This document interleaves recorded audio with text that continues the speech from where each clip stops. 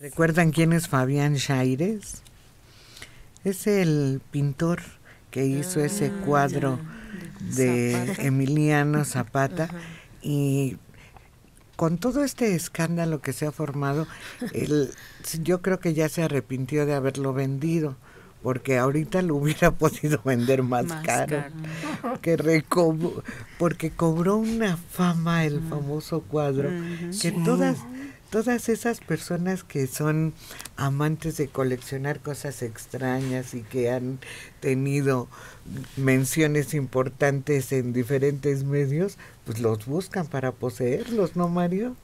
Pues sí, sobre todo mamarrachos, les, encanta buscar este tipo de, de cosas que están pensadas en hacer escandalizar al, al, Villamelón, al que no sabe de arte, ¿no? Entonces eh, se los llevan a, allá a sus salones, sus salas, junto con sus demás pinturas pintadas en terciopelo negro y con payasitos y cosas así. Pues ayer hubo otra protesta en la explanada del Palacio de Bellas Artes. Y es que al parecer está planeada una gira, digámoslo así, de este cuadro para presentarlo en diferentes lugares de la República. Y un grupo de personas que se oponen y que han criticado enormemente el tema de la pintura de Fabián Chaires, la forma en que presenta Emiliano Zapata, están muy molestos. Y se unieron a esa molestia un exdiputado del PRD y que actualmente es líder de la Unión Nacional de Trabajadores Agrícolas y algunas otras eh, personas y mantuvieron bloqueados los accesos principales al Palacio de Bellas Artes. Claro, el palacio abrió una puerta lateral para los que querían pasar a visitar el teatro y de paso pues la exhibición pictórica. Pero estaban muy molestos, dijeron que iban a quemar el Palacio de Bellas Artes y la protesta estuvo muy elevada por la por lo que denigra la pintura, la figura de Zapata y las actividades se realizaron normalmente, ah, cambiaron el acceso y aunque siguieron las protestas en la puerta principal del palacio, pues no hubo ningún problema.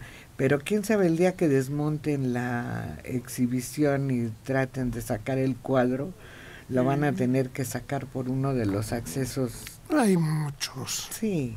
Muchas entradas de, a bodegas y a depósitos donde puedes salir.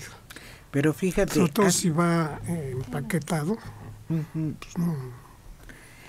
Hace unos meses muchos no sabíamos quién era Fabián Chaires.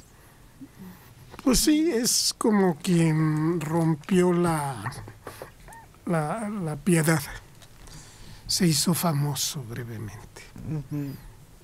Pero ya, ya actualmente ya lo olvidamos, ¿no?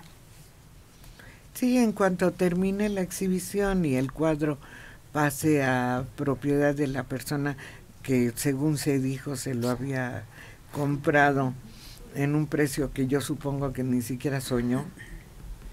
Sí, sí, es, eso es lo, lo, penoso, ¿no? Que, que, haya mercado para, para este tipo de obras.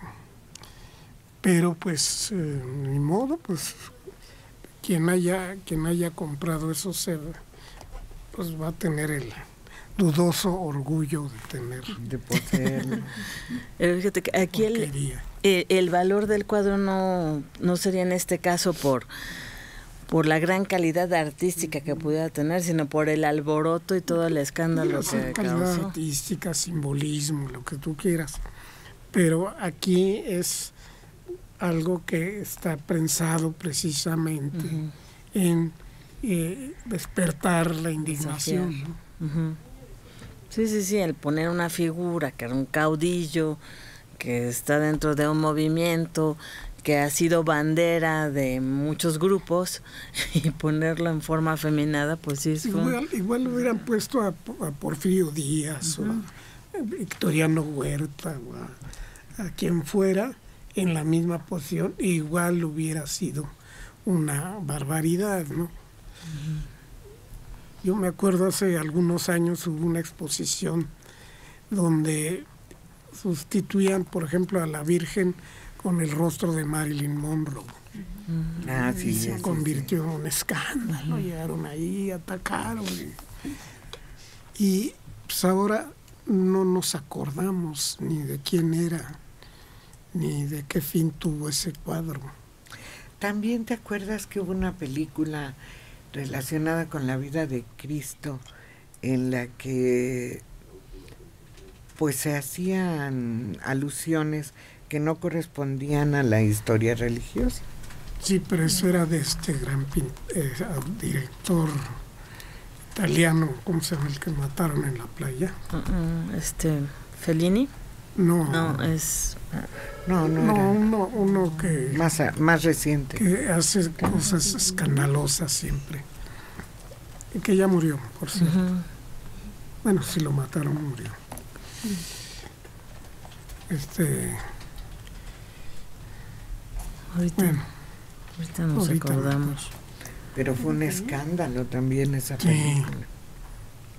Y el Evangelio según Jesucristo, creo que era. Y es que cuando se toman en cuenta lo cuando utilizan como referencia personajes que forman parte de la vida de un pueblo, como es el caso de Zapata, pues siempre van a causar enojo en algunos. Claro. Sobre todo alguien tan estimado. Porque si lo hubieran hecho con cualquier otro, pues hubiera habido indignación, pero no hay. El zapatismo está vivo. Sí. No solo en, Chiapas, sino en Morelos. Sí, en Morelos hacen una gran conmemoración el día de su nacimiento y el día de su fallecimiento. Así es. Es como y, su familia sigue siendo respetada, sus descendientes. Sí, y nunca permitieron que lo trajeran al monumento a la revolución.